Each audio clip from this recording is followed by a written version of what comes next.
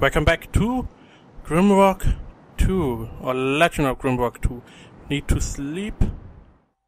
I can always uh, interrupt our sleep, let our rogue eat stuff. I don't know, I have the feeling that we do not wake up at the beginning of the day. As you see, I had to click there. So, we are back. Back full power. Now the question is, we can, you know what? We give him the dagger. There we go. Does not fit well. So he needs another kind of sword. Okay. Maybe the ornate key? Know, everything. Need to test everything. It's like a like a point and click. Test until something works. So, let's see him. So for him, we never got a clue. So we do not know what he wants to hold into in his hand. But it is the same guy, so I think he wants to have a sword. Okay, good to know. So, first off, we are going to save. Not because I am scared, it is simply because if the game crashes or stuff, I can always reload and do not have to replay everything. Which is a pain. So, we are back here. Now we have an ornate key. And this seems like an ornate lock. Does not work here. Okay. Maybe. Hmm. I didn't think about that. Let's go back for a second. Uh, I don't know how monsters work in this game if they simply respawn after a certain amount of time. So I am not sure about that. If they respawn at all. But we have this ornate key. Maybe we can go a little bit farther into this little lizard area. Yeah, yeah, this seems like the key. No, bad. There we go. No, so we can't really move out of the way because there is a second guy waiting to pounce on us. So going to hit him as good as I can. Now we have now we have a little bit more room to work with. There we go. Oh, no ammo. Come on. Do your thing. Oh. I don't know. I can't... I do not have a shortcut for attacking with these guys. I have to right click. Which makes it a little bit harder. Okay. He moved out of the way. Let, let's go all out. All out. There we go. Whew, we got them. Now our Minotaur is pretty badly wounded. He will regenerate. Oh! We got another blue drop cap. So I think the, that multiplied because of the alchem, alchemist power. So we have a chest, which is here. We have some stuff we can whack, some new stuff, some new uh, things, and a chest. Right click to open, we got a shovel. The Simply But Reliable tool is favored by masons, farmers, and treasure hunters alike, which we get to our, give to our um, barbarian on the second hand, so we can always switch that if needed. We have a note, which we can read, Scroll of Poison Cloud, which is meh, useless, and a rapier. So this rapier is only usable by our uh, by, by our knight, we will store our fruits in here. Uh, uh our stuff and this note at the lone oak in the shadow of the blue light. I buried it. Oh, a, a treasure note. Okay, first off, we will take this and the dagger. First off, this ladder can be buried and this dagger can be used for you if you ever need it. And let's find that treasure, I would say. Let's see, nothing here. We could be here. Can't dig here. Oh, digging takes time. Found nothing. Okay, so don't dig randomly. At the lone oak in the shadow of the blue light. So let's try to find that. A lone oak in the shadow of the blue light. So the only thing we discovered which has a blue light of some sort was our save point. But no, let's let's go there. In the shadow of the blue light. There we go. You see, there's a blue light. Here's a lone oak. And I would say here to dig. Or behind. There we go. Treasure found. XP. And what do we have here? An amber, Embalmer's rope and a healing potion for our little uh, human knight. So Embalmer's cloak is protection vitality. Uh, yes and yes. So we can now equip this tattered shirt at for our little Lizard Man. Alright, the knight, human knight, has more XP because he gets more XP per uh, because of his human trait. If you go human, gain experience points 10% faster. So he leveled up. We can get a new skill. And uh, you know what? Let's go here because you see these little little uh, diamond shapes, these are special things that happens. If you get the second point, you are proficient with light armor and can wear it without penalties. So, no penalties for light armor. So we can now uh, carry light armor without, I would think, uh, movement penalties or stuff. No, this is the same guy as behind, and both want a rapier in his hand. In their hand. So, another treasure. A key. Interesting. A gold key. And we know one place where we can use a golden key. So first off, you see 4 to 13 damage plus strength, 10 accuracy but needs light weapons 1.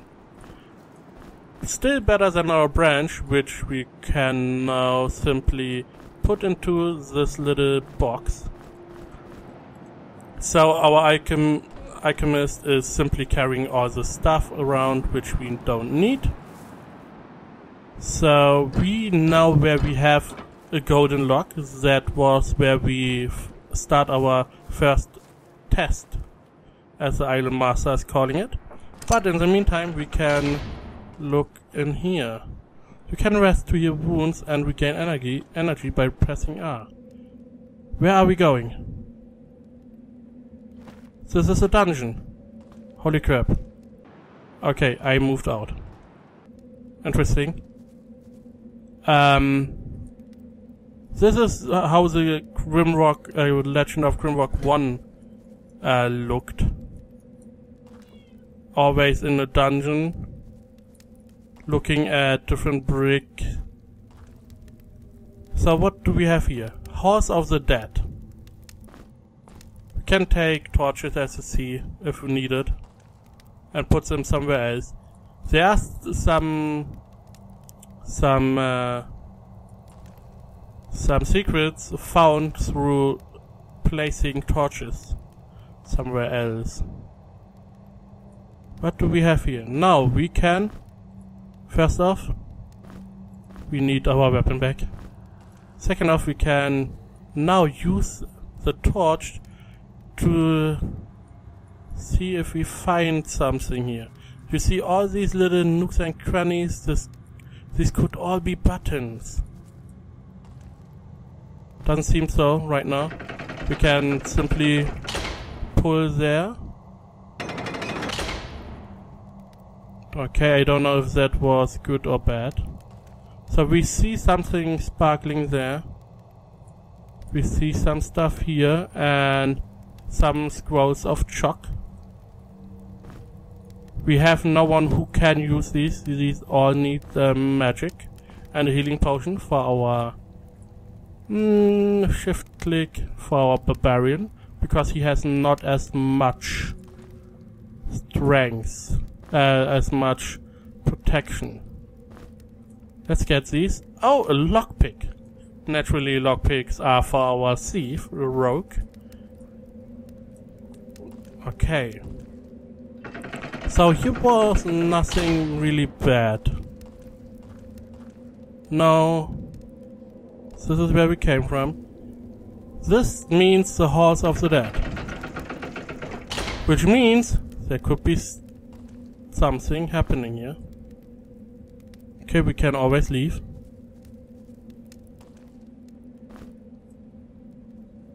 Um, is there something... Wow, okay. I hear something. Oh, we see a mummy. Okay. I don't know if there's something like sneaking. The shadows and stuff. Let's get some shots in. I don't want to leave here if we don't need... Oh, 12 damage. He can... He can really deal damage. There we go. The thing is he is slow, so dancing like a butterfly. dancing like a butterfly, sting like a bee, stuff like that. Come on. There we go. As long as there's only one, it is not a problem, like zombies. As long as there's only one, you can dance around them. As soon as there are more... Oh, we gained so many levels. Reedwalk gained one strength. Yeah... Exactly what I wanted. Strength on my alchemist. But okay. So he gets armor too, so he doesn't take the penalty hits. He, let's see. If we have fourth level brew stronger healing and energy potions, and fifth level each bomb gets us three bombs instead of one, and firearms do not suffer malfunctioning. Let's go alchemist at the mean at the beginning. You can go critical, third can backstab enemies with dagger, can backstab with, with any light weapon, Let's go full missile weapon on you. So everyone it. We now take our weapons back. Look around. These are the halls of the dead. So we do not know what we have to expect. We got some big loot. Plus 4 protection is pretty good at the beginning. Okay. Let's see. We have a pressure plate here. I do not want to step on that. We have a little chest here, which our, our brewmaster will get. A pellet and some flintlocks. Oh yes. Can take this. So we can finally attack. Now the question is, do I lose my pellets? Because I do have a bunch of them, but if I lose them, I don't really want to use them. Oh, a button. Okay. I don't know what this button does. but I am pretty sure that this pressure plate is a trap. I'm pretty sure. Oh, we found something. You see that? We found a little secret. Which leads us outside. Interesting. Um. Yeah. So, okay, here's my thinking. If we activate this pressure plate, I think all these flames will be some sort of monster. So. Oh. Hello, zombie. Can you activate that? Come on. He's not activating pressure plates? Okay. But you are a good person to test this one. Seems like I'm losing the pellets. Okay, good to know. Moving around. There we go. Yeah, yeah, starving, stuff like that. Come on. Dancing, dancing. I would like a faster time on those weapons. Man, the sword would be awesome in here. I never really tested if I can simply take the sword again. I should try that. So we got our sword back. Let's see if we can get our pellet back. We cannot. So, flintlocks are more or less. So this um, ammunition is only one time usable. Let's see, can we take this? We can. And we will. Because this uh, gives us a lot more damage. Can I put this? No. Good. This sword gives us a lot more damage. Now I'm a little bit more confident in uh, activating this trap. I don't know what this does. Broken. What we could do is... Roger. Oh wait. Okay, I see. This simply closes the door. This opens the door. And the door's open. Simple, simple. If you know how to do it. I don't want to carry the torch all the time because I am more visible, I think. So there's one zombie, which saw me now. Come on, move up, and take a ton of damage. I, in the meantime, do two. Nope. There we go. I do a ton of damage with this sword. Come on. And it is a light weapon. If I had a shield, I would be a little bit safer. Come on. There we go. Throw one of those rocks. Um, I do not have any more rocks. But there he goes. Okay. So one stone. Second stone. And I can take the stone. Bam. So the pressure plate, if activated and the door's down, it is not going to close the door. So it was not uh, not a trap per se. What do we have here? We have a key, an iron key, an iron key. Which is probably for some door. Probably this one. Yes. So that means we can explore for some, uh, maybe some additional secrets. Doesn't take as long as the beginning. The thing is that the secret we discovered a second ago was really easy. Most secrets are not that easy to find. If I recall correctly at least. There we go. Okay. Hmm.